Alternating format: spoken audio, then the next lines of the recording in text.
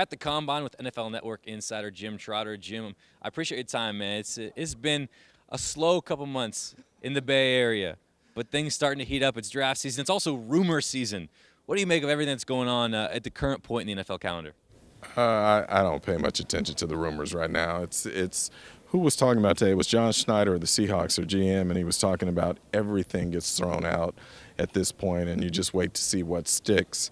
Um, you're going to hear wild things. We hear it every year. Some of it pans out, some of it doesn't. So you just try not to get caught up into that wave and, and just sort of be discerning and, and distill what the real facts are. We uh, have the pleasure of having you up in the Bay a couple times each year, whether it's at a game or during a training camp. And, and, tell me, where do you what do you make of where this team is at, where the organization at now, as, as Kyle uh, and John are going into year three?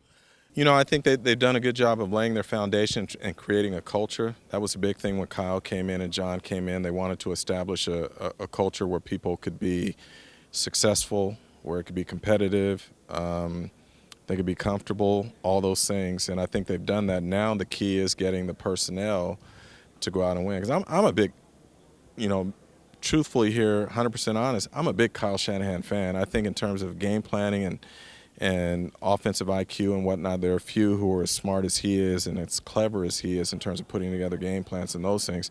So I, I really just want to see what he can do when he has a healthy roster if you're a player going into year three, you're considered a veteran at that point, right? You don't get to be, you know, the rookie, have those rookie mistakes.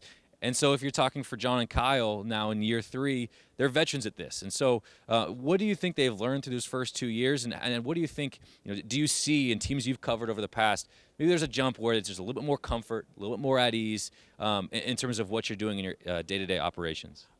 You know, I think you're always learning and growing. To say exactly what they've learned, um, I don't know that that's for me to say at this point.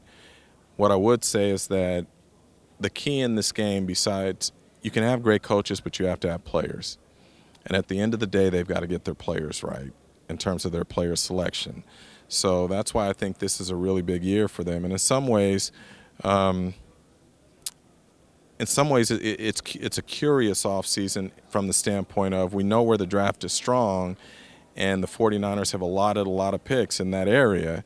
So do you go down that road again, or do you go another road? And I, I don't know how they're going to handle that. I'm, I'm really interested in seeing. Um, but there's no question they have got to get more playmakers um, on both sides of the ball here. And I think if they do that, then I think um, I think it's going to be a fun year. Appreciate your time, man. You got it, man. My pleasure.